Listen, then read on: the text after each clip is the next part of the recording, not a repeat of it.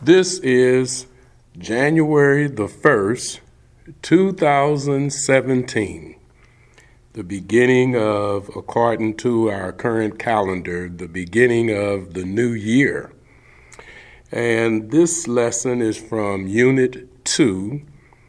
It is lesson number 5 and very befitting title from the Standard Lesson Commentary.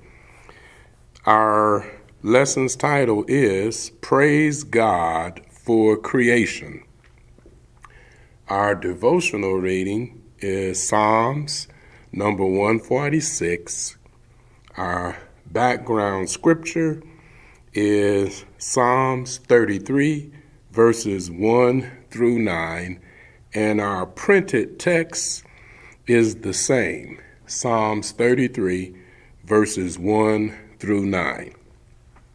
Our key verse is Psalms 33, verse 6, and it reads, By the word of the Lord were the heavens made, and all the host of them by the breath of his mouth.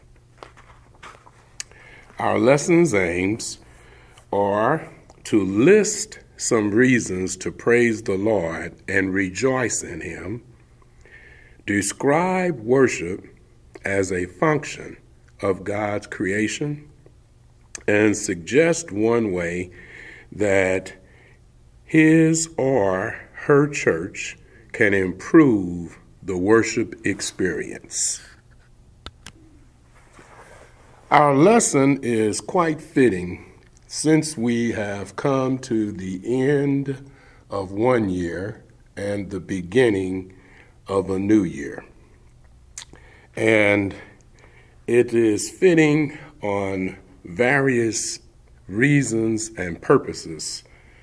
Oh, number 33 of the Psalms is actually resounding a practice that was normal during the biblical times. Uh, this number, Psalms, is actually related to the end of a period of harvest.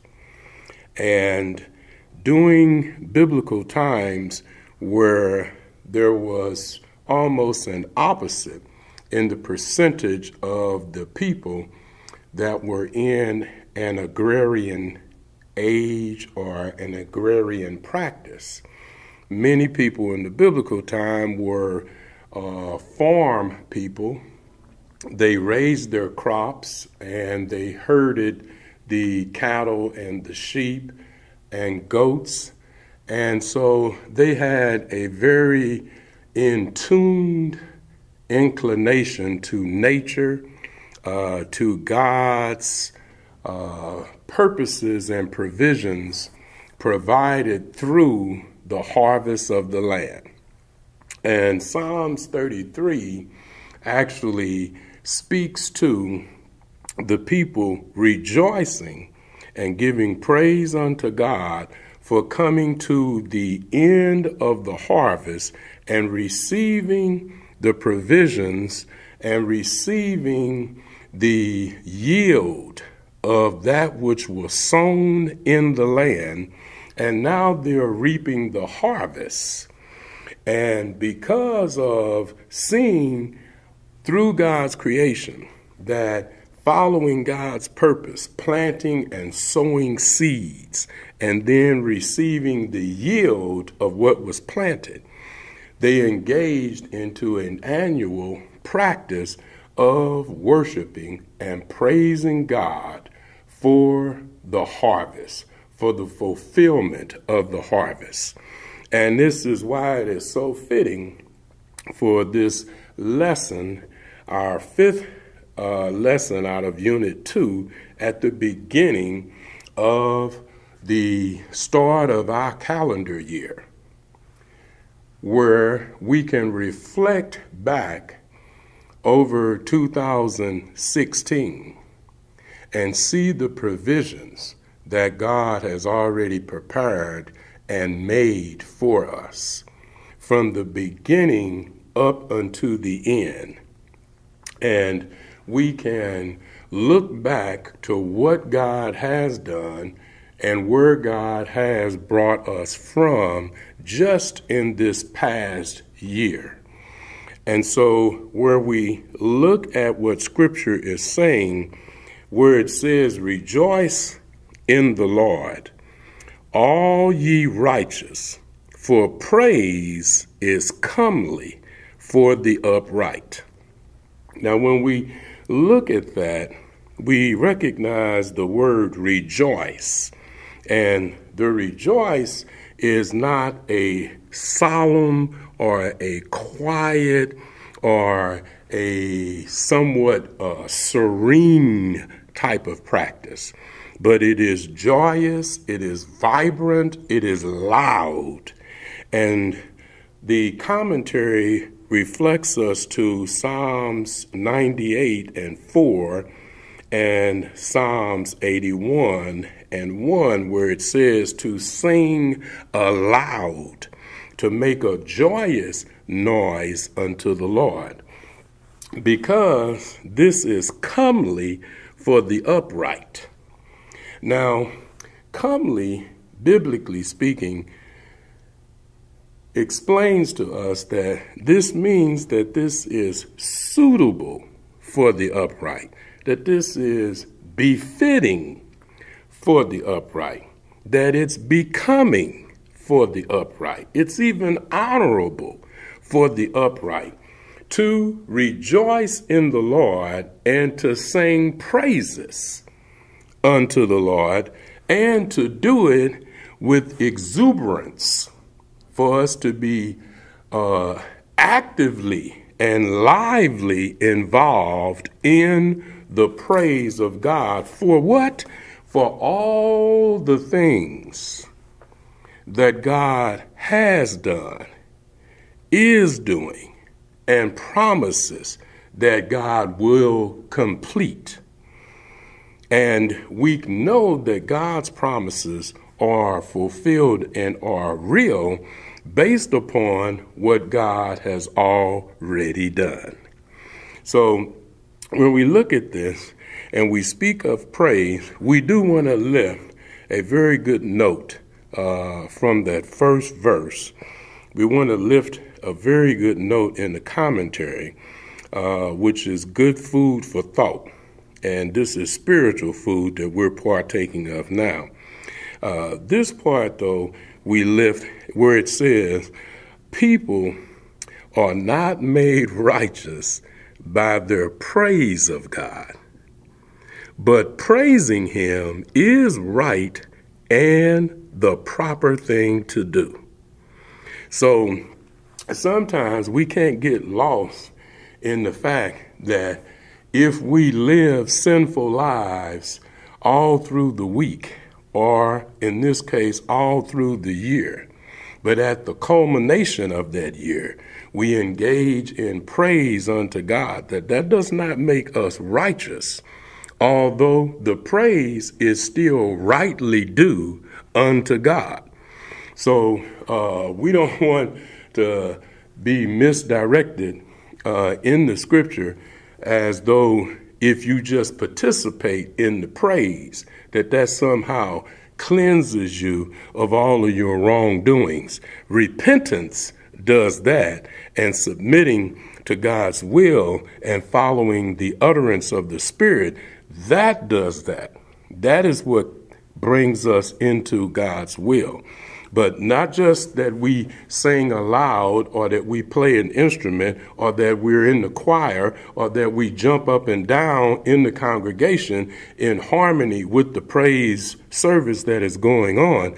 It's the life that we live. That's the real praise that's given unto God. Now, if we indeed are going to participate in the rejoicing and the praise of the self created one, Almighty God.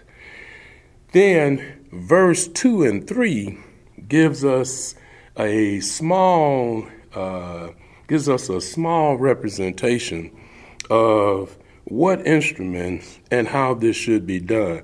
Now, it, it only lists two instruments, and that's the harp and the psaltery. These two instruments are stringed instruments, but we know from other passages in the book of Psalms that many instruments were listed. But just these two stringed instruments are listed here. And as we identify these two instruments, we also must lift this. And uh, sometimes we are involved in certain practices and certain uh, expressions in our worship experience, not really fully realizing the potential that they contain. But even in healing, in medical fields today, they are using music, string instruments, to soothe the spirit of patients who are being devastated by certain illnesses, life threatening illnesses, and have found results in the healing process from so called terminal illnesses by stringed instruments and other instruments that God has provided to his people for praise and worship. So when we engage in the practice of rendering song in a worship experience, we should also be mindful of the potentiality that exists in those instruments. Now, one of the things that's listed in the commentary here speaks to us about how these instruments should be played. And that's in verse 3. And it says, Sing unto him a new song, play skillfully with a loud noise. I want to stop right here just to reflect on the first part of verse 3 and then the second part. Sing unto him a new song.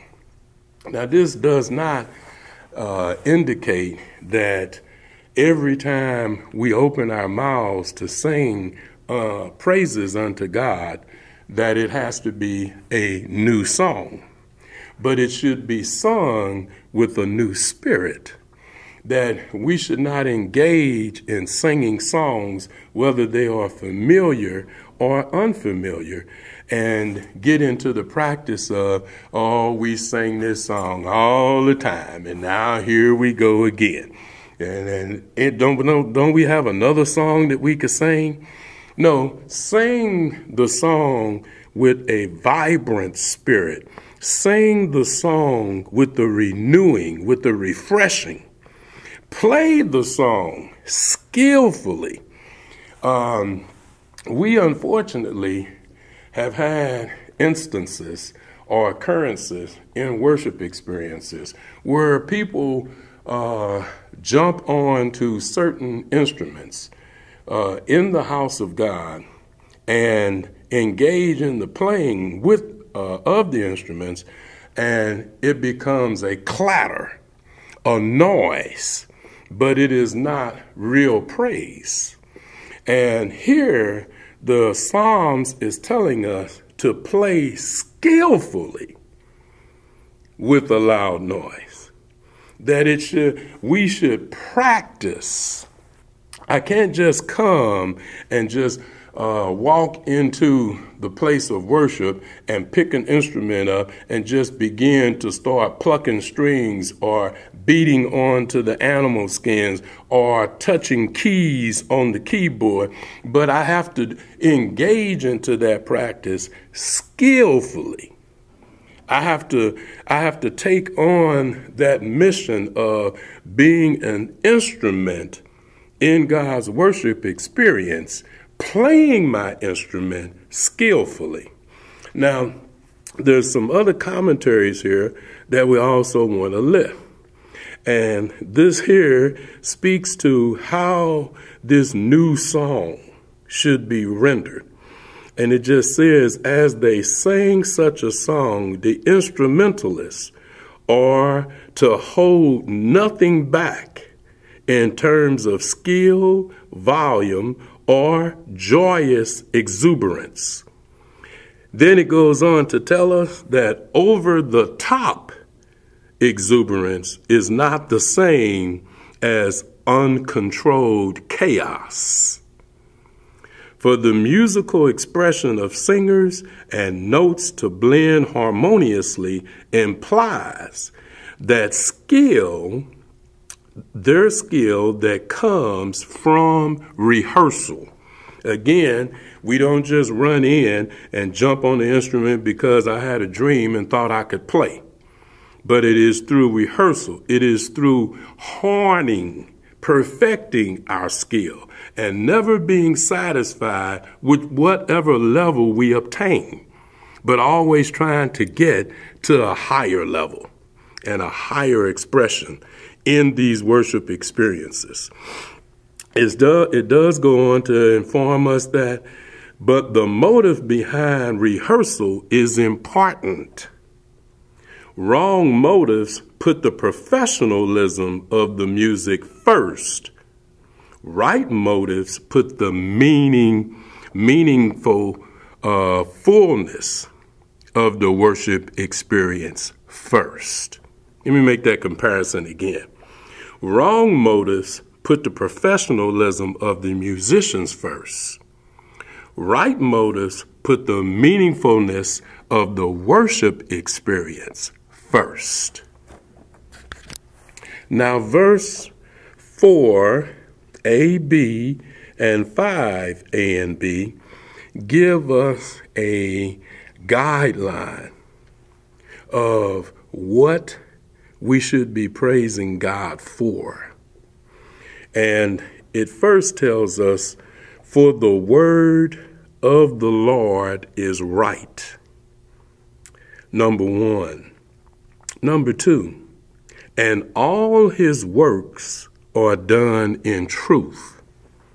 Number three, he loves righteousness and judgment. And number four, the earth is full of the goodness of the Lord. Now, when we think about for the word of the Lord is right, a real key point is lifted here in our commentary and it says to us, what we say in worship is important, and it should not be approached carelessly.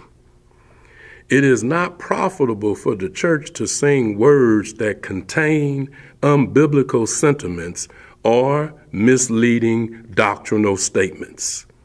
We guard against such errors by careful study of Scripture in order to derive song lyrics from the Bible itself.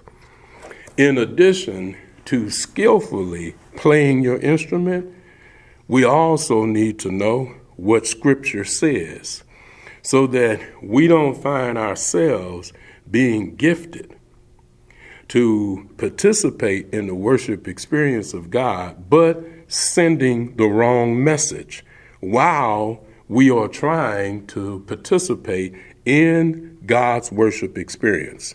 So, in addition to playing our instruments, we also need to be studying the Word of God so that when we render songs of worship unto God, we are in tune with what we believe according to Scripture. And then, where it speaks to us concerning about all of His works are done in truth. When it says, for all God's works are done in truth, it means that God's words are always true and trustworthy. His actions are as well. God is consistent in the way he deals with humanity. Now, this was a key part in the commentary. It says, But in spite of human sin, and all too often unwillingness to repent, God still loves the sinner deeply. His works are consistent with and speak of both his love for us and his holy insistence that we abandon sinful ways. Now, when we begin to speak of God's love for righteousness and judgment, uh, it speaks to us that we should reflect on Psalms 92, I mean, sorry, Psalms 97 and verse 2, that tells us that righteousness and judgment are the habitation of God's throne. Now, what I would like to lift to that would be out of the uh, 19th Psalms, verses 9, 10, and 11. And it reads in this light The fear of the Lord is clean, enduring forever. The judgments of the Lord are true and righteous altogether. More to be desired are they than gold, yes, more than much fine gold, and sweeter also they are than the honey and the honeycomb. Moreover, by them is thy servant warned, and in keeping of them there is great reward. Now, when we speak of the fear of the Lord, uh, we don't serve a God that uh, joys in us being afraid of God. That's not the translation of the word fear, but it is better to read the translation than the word itself because the word is used as reverential trust. Reverential trust. So the reverential trust of the Lord is clean, it is pure, it is enduring forever. And so when we think about God's righteousness and we think about God's judgment, it just simply means righteousness to do what is right. Judgments being just, as in treating others fairly. Now, I know it is difficult for some of us to imagine that it is humanly possible for us to do what is right and for us to be just in our dealings, for us to treat others fairly. But that would be to forsake that there is a godly spirit that dwells in us. And text, scripture tells us, Know ye not that your body is the temple of God, and that the Spirit dwells within us? So uh, we can rely on fleshly choices and then we will reap the benefit of those actions, or we can attend to the spiritual things and then reap the benefits of the Spirit. And so when the scripture says to us that if the servant, these things are being offered as warnings to us as servants of the Lord, then it says, and in keeping them, there is great reward. So if we follow and practice what we preach and what we say, then we will reap the benefits that God has already stored up and laid up for us.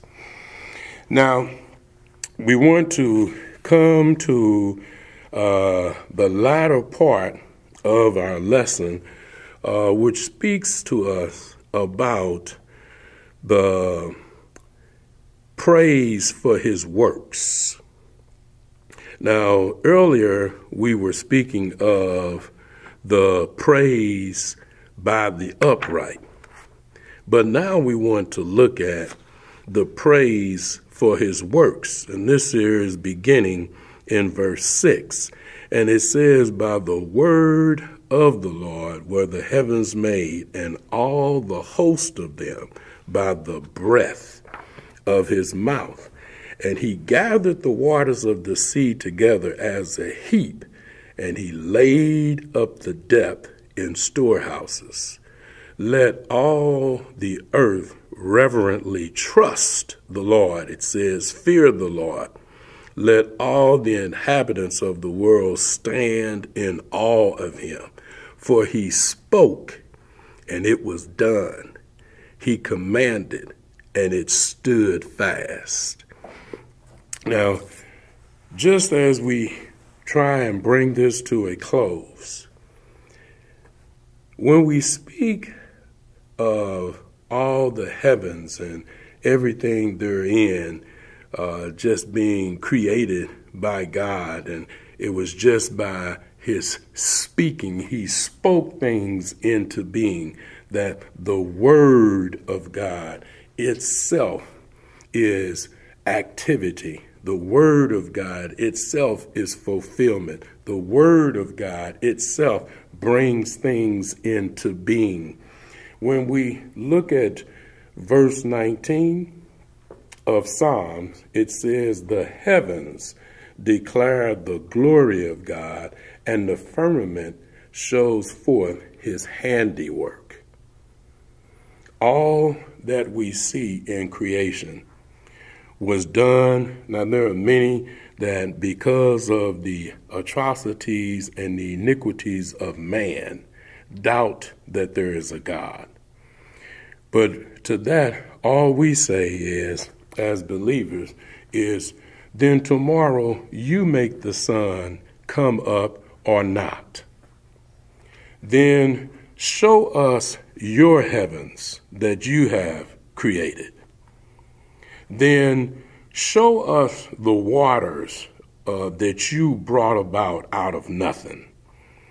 Uh, show us that paintbrush that you lined the heavens with, with all of the stars and the planets and with the galaxies, the multiple galaxies that we are still through science finding out exist.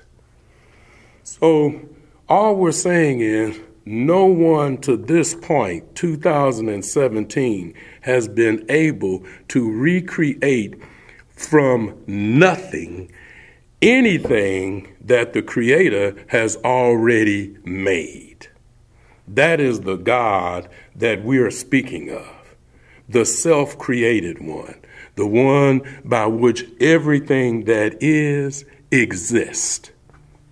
So, when it speaks of he gathered the waters of the sea together as a heap, and he laid them up in the depth of his storehouses, it tells us that uh, the translation here uh, in the uh, uh, storehouses here is reflected, and one passage is in Job 38 22.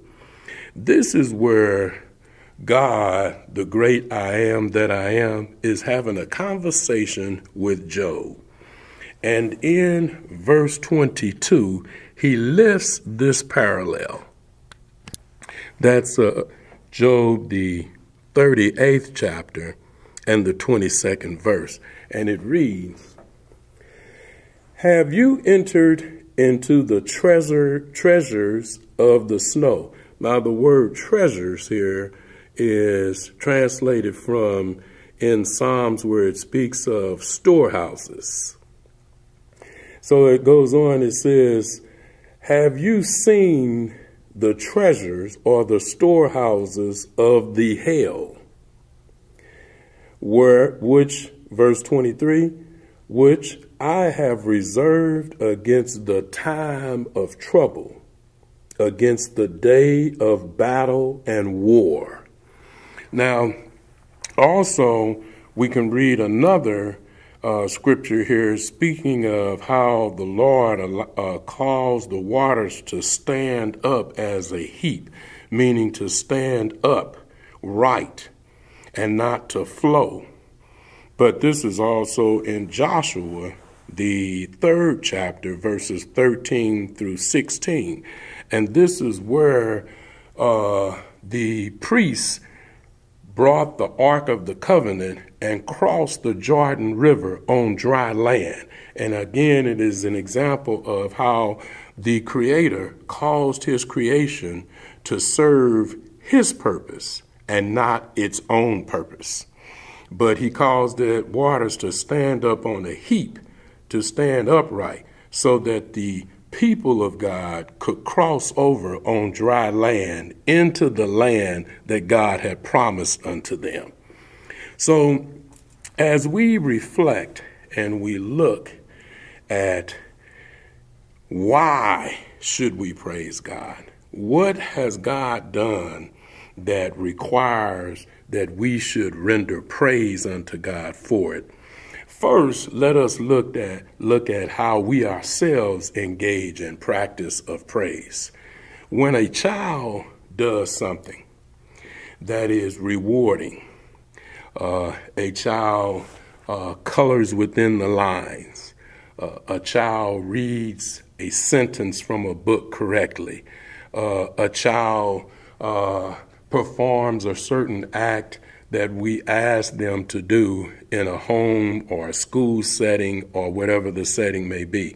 We usually applaud the child to send a message to the child that what you just did was good, that uh, what you did warrants uh, applause, it warrants attention. Uh, it was something that was rewarding. Uh, even as we mature and grow older, uh, even as employees uh, at different employers, uh, there are practices in place that if you complete a certain task or an assignment within a given amount of time, you are rewarded for those things. Well, as we can find within our little finite selves a way of rewarding for works that are done, then shouldn't we be inclined to give that same response to a God much greater than ourselves, to give unto God that which is worthy? Here's just a few examples that tell us how we can engage in the practice of worshiping. And it says we can worship Him when we view a glorious sunset or a clear starry, starry night, when we gaze into the eyes of a newborn baby, when we calm our hearts for sleep, or when we are awakened fresh for a new day. When we remember the many blessings God has laid in our pathways and in our lives, and when we consider the many things that He has for us in our future, these are just some of the normal, everyday blessings and mercies that we receive that warrant our praise and worship unto the one true God. As always, we hope that something that was said in our lesson has provided you insights into God's purpose for our lives, how we can better prepare ourselves to be servants for God, and most importantly, how we can fulfill God's will and purpose in our lives. The blessings of God be upon you as always is our prayer. God bless you and keep you. Amen.